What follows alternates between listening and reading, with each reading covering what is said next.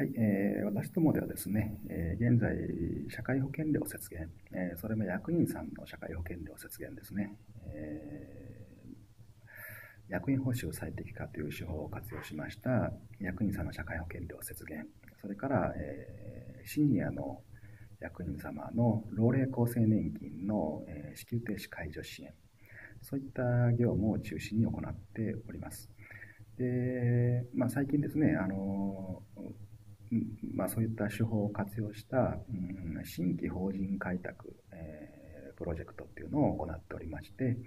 まああのえー、中小企業さんをあのご支援されているような、えー、各分野のご専門の方々ですね、専門家の方々と、えーまあ、協力し合いながら、うん、プロジェクトに参加していると。